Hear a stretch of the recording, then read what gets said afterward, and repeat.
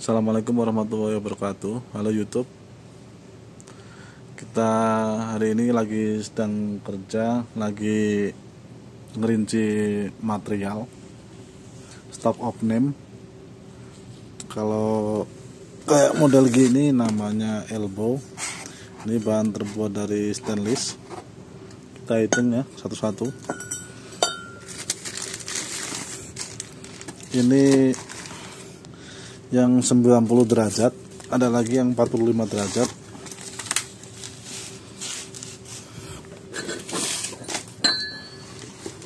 Hmm, ini. Untuk spesifikasi bisa kita lihat di sini. 90E artinya 90 derajat. Ukuran 3 in schedule atau ketebalan 10 barangnya seamless. Seamless artinya tidak ada sambungan. Oke kita lihat yang lain. Nah yang ini. Ini elbow 3 in ukurannya yaitu 45 derajat. Bisa kita bisa lihat di sini 45E ukuran 3 in schedule 10 seamless juga dia. Rata-rata ini bahan barangnya impor di Korea kalau nggak salah. Kalau yang macam stainless ini kalau yang ini namanya flank flanknya jenisnya jenis shockwell. Ini kalau shockwell modelnya gini. Kita bisa lihat mengidentifikasinya dari sini. Nah F316L artinya bahan dari stainless 316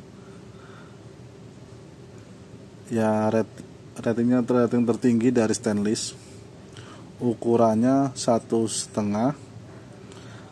Kelasnya kelas 300 pon. Dan schedule-nya schedule 80 schedule itu ketebalan. Kalau 300 ini kekuatan biasanya yang pressure-nya lebih tinggi. Kan 300 kita lihat lagi. Nah ini beda lagi nih ini jenisnya flank jenis slip on kalau tadi kan ada penahannya. Kalau yang ini enggak pipanya langsung masuk habis itu di welding. Kita lihat ini kelasnya. Kelas 150 pon. Jenisnya stainless 316 ukuran ukurannya ini 2 in. Ininya RF kalau RF itu ada agak menonjol.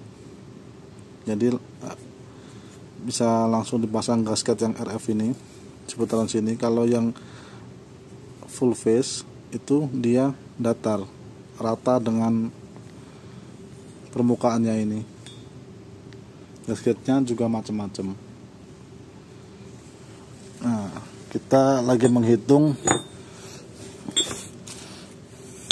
Ini barang return ya return atau kembalian dari biasanya itu dari orang yang ngambil. Udah kelebihan pemakaiannya habis itu dibalikin lagi ke gudang. Nah kalau ini elbow juga elbow 90 derajat. Kita bisa lihat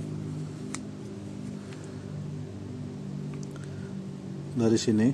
Nah, dibikin di Itali ini stainless steel 316 juga. Nah dari sini kelihatan setengah in kelas 3000 pon barangnya stainless juga.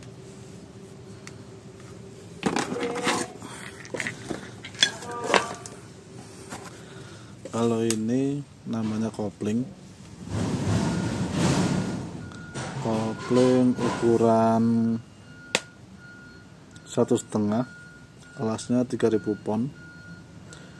Jenisnya kopling Sockwell atau SW nah di sini ada macam-macam lagi barang-barangnya. Namanya flank